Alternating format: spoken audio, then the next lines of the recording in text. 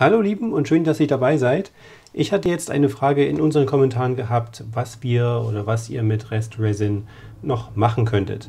Gerade wenn ihr viel mit Resin arbeitet, dann habt ihr natürlich ständig irgendwelche Reste an Resin, was ihr angemischt habt, wo Pigmente mit drin sind, wo Glitter mit drin ist, was für euer Projekt am Ende zu viel war und ihr nicht wirklich wisst, wohin damit und einfach nur aushärten lassen. Sind wir ehrlich, wäre einfach schade drum. Deswegen, was ich zum Beispiel benutze, ist ähm, solche Silikonformen, also auch gerade die größeren wie diese Pyramide, die können wir dann auch gleich mal ähm, schälen, um zu schauen, wie sie geworden ist bisher. Die muss ja auch nicht komplett voll sein. Oder auch kleinere Silikonformen wie so ein Würfel. Ähm, die hat jetzt so ein bisschen ägyptischen Look zufälligerweise, finde ich aber wirklich sehr cool vom Farbspektrum her.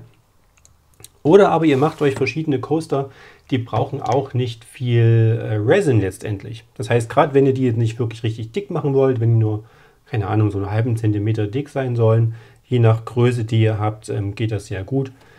Ihr könnt euch da richtige Silikonformen holen für, für Resin gedacht. Das hier war jetzt eigentlich eine zum Backen für, ich weiß nicht, Kekse, Muffins, irgend sowas.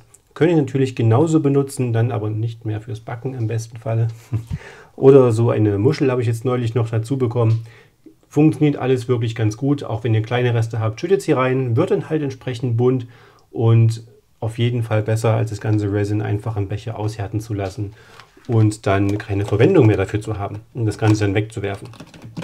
So, ansonsten hier, gerade die Pyramiden, das ist natürlich ein Langzeitprojekt, je nachdem, wie viel ihr mit Resin macht und welche Farben ihr benutzt. Ich achte jetzt auch nicht wirklich drauf, welche Farbschichtung jetzt da drin ist. Also alles, was ich übrig habe an Resin, kommt dann einfach da rein. Dann löst man das raus, dreht die Form wieder um und es kann weitergehen mit den nächsten Projekten. Wichtig nur, wenn ihr wirklich die Pyramidenform nehmen solltet, die haben wir auch bei uns auf der Homepage, macht sie nicht bis ganz oben voll. Ihr kriegt das dann einfach nicht mehr raus. Das ist dann richtig, richtig schwer rauszugehen, ähm, wenn überhaupt, ohne dass ihr irgendwas kaputt macht. Also drei Viertelst voll oder halt von der Größe her so ist die eigentlich auch ganz nice. Und da sieht man jetzt hier die ganzen Schichten, was ich mal benutzt habe an, an Resin. Also lila mit Glitter, blau, Metallic, dann irgendwas wirklich dunkles, schwarz wahrscheinlich, was klares mit grün zwischendrin. Also ihr seht selber, kann man natürlich dann äh, viele verschiedene Effekte und Looks haben. So, prinzipiell sind das auch meine Tipps, was ich damit äh, tue. Ihr könnt natürlich genauso, wenn ihr Richtung Schmuck gehen wollt oder irgendwas in der Richtung. Ich mache das zum Beispiel auch mit Restfarben von Acrylic Pures, also ne, Acryl Pures. Ähm, könnt ihr genauso gut auch das Resin auf eine ja, Unterlage nehmen, das hier jetzt eine ganz normale Folie. Ähm, Resin draufgeben, drüber swipen und vielleicht mit einem Brenner drüber, dass ihr so ein paar Zelleffekte und Looks bekommt.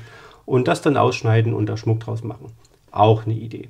So, wenn ihr noch andere Ideen habt, was man damit machen könnte, was ihr zum Beispiel auch macht, schreibt es gern in die Kommentare und helft den anderen Zuschauern damit. Ich freue mich auch mal was von euch zu lesen, was ihr Schönes kreiert. Und ja, helfen wir uns alle.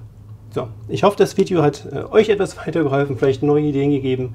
Ansonsten gebt mir einen Daumen nach oben, wenn es euch gefallen und geholfen hat. Abonniert unseren Kanal, dann verpasst ihr auch keine anderen neuen Videos. Und ansonsten wünsche ich euch ganz viel Spaß beim Kreieren und bis bald.